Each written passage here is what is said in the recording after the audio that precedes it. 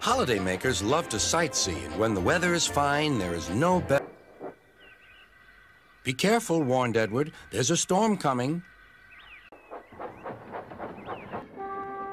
The island of Sodor had many visitors, and Sir Topham Hatt had scheduled more trains. Gordon. It was an important day in the yard. Everyone was. Hello, called Edward. That famous engine came through this morning. He whistled to me. Wasn't he kind? Take no notice, soothed Edward. He's just jealous. He thinks no engine should be famous but him. Look, he's coming now. No, these are for Gordon's Express. I'll fetch your freight cars next. James was snorting about in the yard, and Edward helped Thomas back to the junction. That's strange, said Edward. A car full of tar has been left at my station. That must be it. Driver will make sure it gets to Bertie now. He had important news for Edward. I'm going to be the star attraction, chatted Trevor. I'd like to help too, sighed Edward, but without my rails, I wouldn't be much good at a garden party. Edward was worried. I wish there was something I could do for the party, he said. I'd like to be helpful, like Trevor. You're helpful in your own way, and that's on the railway.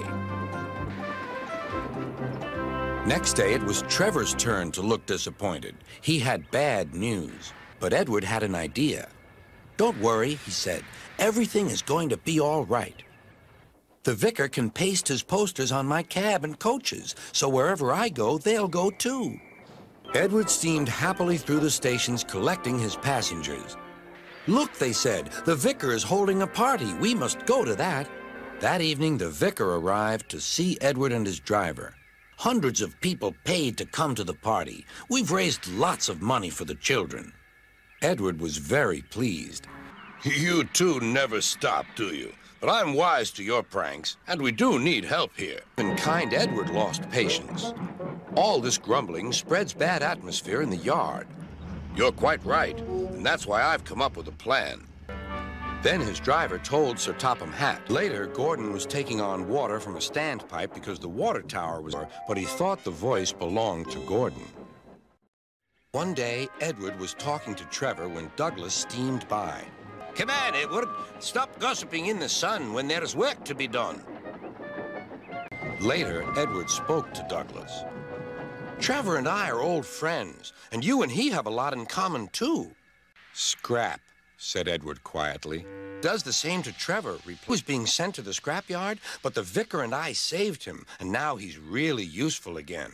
Even so, Sir Topham Hatt certainly does need another steam engine. Next day, he arrived with Edward. But you acted quickly and bravely in an emergency. The shed was silent. At last, Thomas spoke. Still, there was silence. So, said a voice, we're really useful engines after all. Engines woke the next morning, they could not believe their eyes. The sheds had been repainted and decorated. Engines whistled in delight, and everyone agreed that it was a really happy Thanksgiving.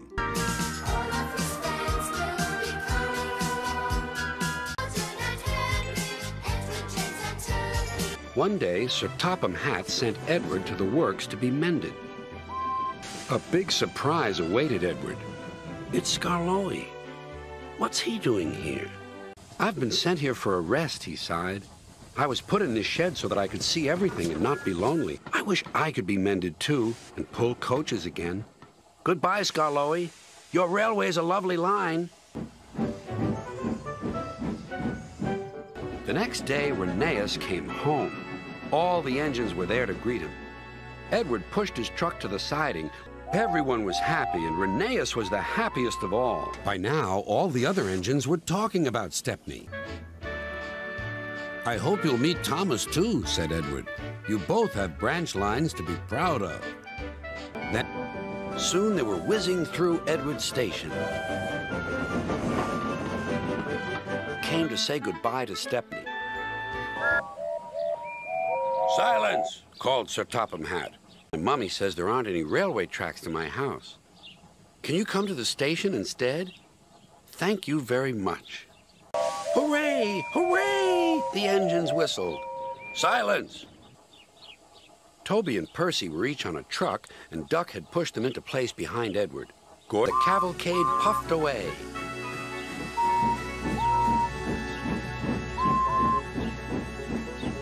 Later in the big city, all the engines were lined up in a splendid shed. The engines wondered who would pull the royal train. I'm too old to pull important trains, said Edward. Edward steamed in. Beep! The Queen is here!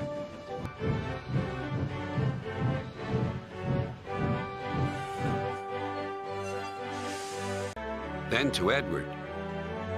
Meanwhile, Duck was waiting at Edward's station so that he could help the heavy train by pushing from behind.